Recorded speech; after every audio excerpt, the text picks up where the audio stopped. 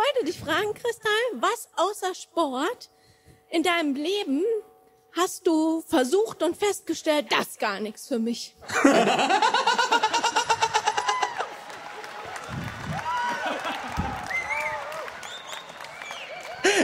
Du hattest auch eine Frage, oder? Alter, die hat dich gefragt, sie hat dich gerade so richtig gedisst, einfach nur so. Die so, Chris, du bist fett.